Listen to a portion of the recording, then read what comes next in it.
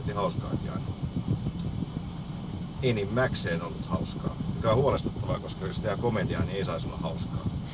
Koska jos nauretaan kuvauksissa, niin kukaan ei naura teatterissa. Tästäpä johtuen ensi viikolla kuri vähän muuttuu. Ja jos siellä joku nauraa, niin saa piiskaa. Paitsi ne, jotka tykkää sitä piiskan saamisesta, eli pitää keksiä joku toinen rakastus, niin ne ei saa piiskaa, jos ne nauraa. Nyt mä tipun.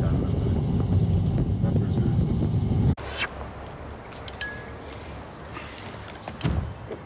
Se mun vanha hoito.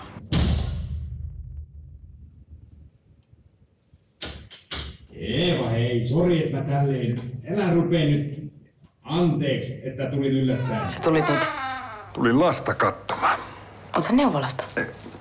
Ei, mä oon... Niin, mä oon käsittänyt sillä tavalla Teemun puheesta ennen kuin kuvaukset alkoi, että tehtävä ei ole olla itse hauska, vaan olla niissä tilanteissa sillä tavalla paikalla ja läsnä, että, että ne tilanteet on sitten hauskoja, kun niissä on tosissaan. Ja sillä ohjeistuksella oli sitten helpottavaa, kun ei tarvinnut ajatella, että minun pitäisi olla hauska. Hieno koru sun mummo. Joo, se on kulkenut suvussa. Saatana kallis koru saarilta.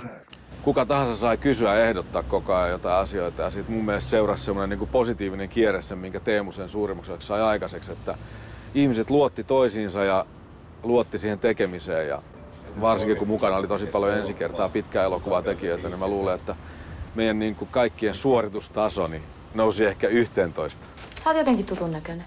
Eikö ookin? Oh, ollaanko me nähty jossain? Niin, sä olit siinä kondomimainoksessa. Esitit jotain siinä syöpäläistä. Hetkonen, se oli herpes.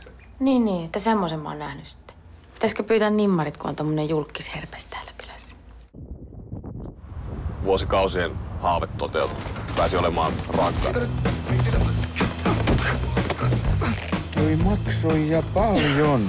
Koska mä en ikinä oikeassa elämässä kuitenkaan ihan uskaltanut. Se oli leffan viimeinen den sista dialogi.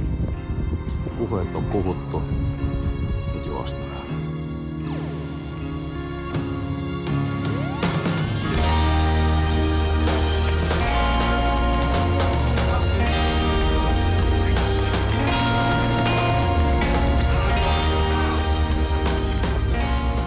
Kaikki pitäisi paljastaa trailerissa ja kaikissa.